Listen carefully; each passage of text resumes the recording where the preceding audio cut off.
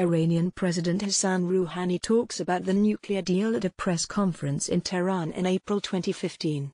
President Trump has just undercut Rouhani. Atta Kenare AFP slash Getty Images the master of self-inflicted wounds has done it again. This time, President Donald Trump is walking away from meaningful, verifiable limits on Iran's bomb program. The constraints on Iran's nuclear program embedded in the 2015 Joint Comprehensive Plan of Action weren't good enough for those in Washington, Israel, and Saudi Arabia inclined toward regime change and kinetic options, otherwise known as military strikes.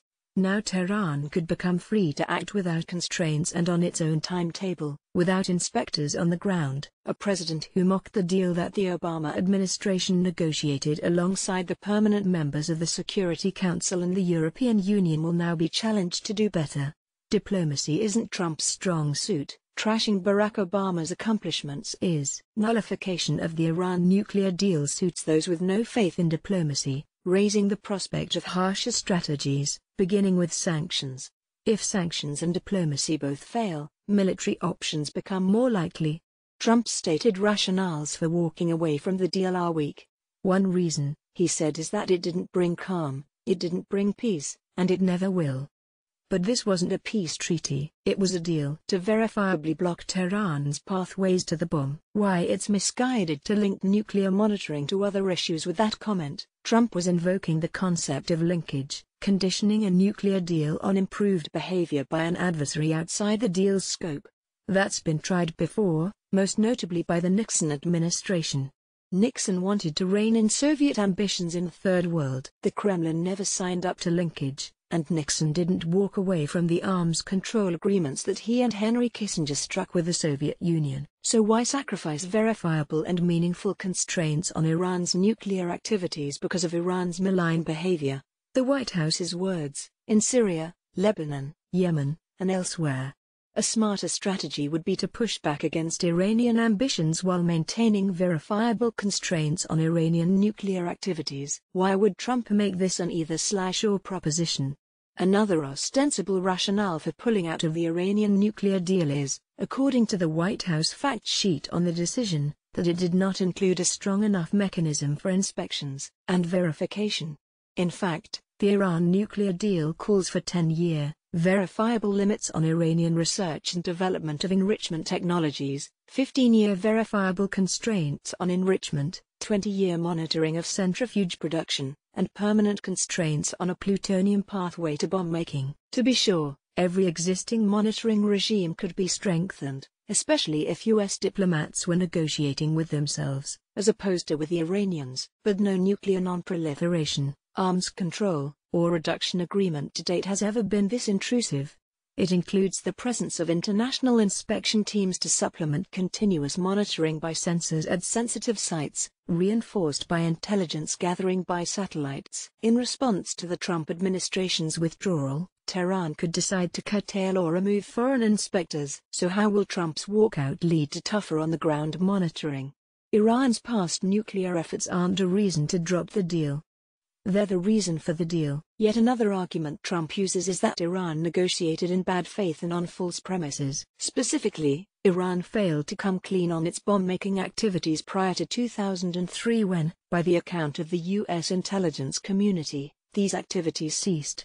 Nothing that Israeli Prime Minister Benjamin Netanyahu presented in his show until last week suggested that the efforts did not cease in 2003. In any event, Supporters of the Iran nuclear deal didn't presume or argue that Iran had clean hands or that the regime's blanket denials of bomb-related activities were credible. Instead, the deal's backers wanted verifiable constraints on Iran's nuclear program precisely because Tehran didn't have clean hands. Trump says he is ready to negotiate new terms whenever Tehran is willing, terms that have longer timelines for nuclear restraints and that address Iran's ballistic missile programs along with its aggressive activities in the Middle East. Don't hold your breath. The Iranians have signaled they have no interest in rewarding Trump's walkout, but they might be willing to deal with European capitals if they are willing to part company with Washington on sanctions. So what does this suggest for the future? The White House says its goal is to put Iran and its regional proxies on notice. But on notice for what, exactly? The reimposition of tough U.S. sanctions, and most likely additional new sanctions too, for a start.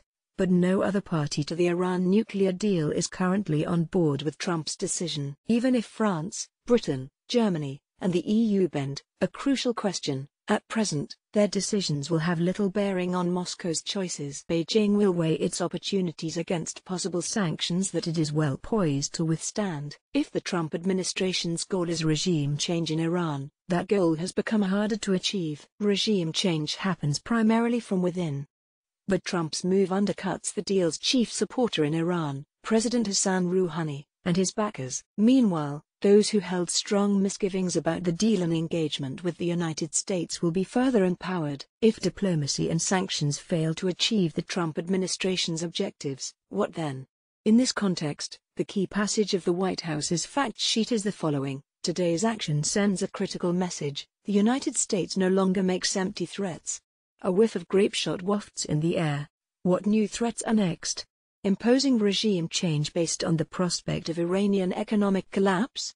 This seems fanciful even if Trump can bring everyone on board with tougher sanctions. Responding in kind or in greater measure to Iran's military tactics outside its borders now seems a given. Trump's memorandum to cabinet secretaries on his decision states that U.S. policy will be to disrupt, degrade, or deny the Islamic Revolutionary Guards Corps and its surrogates access to the resources that sustain their destabilizing activities.